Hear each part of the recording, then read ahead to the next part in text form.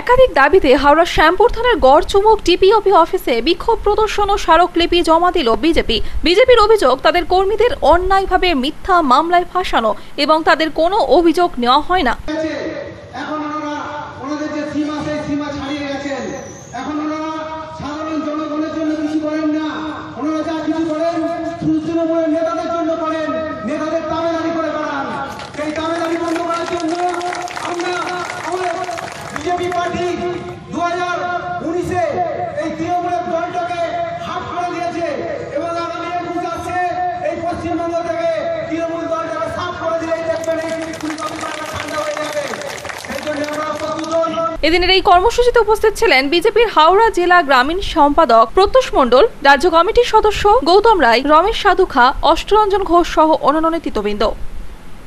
হাওড়া থেকে মতিয়ার রহমানের রিপোর্ট আনন্দ বার্তা